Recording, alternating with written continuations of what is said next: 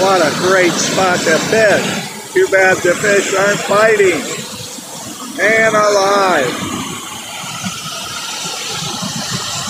Fish aren't biting, but what a beautiful place. Yeah.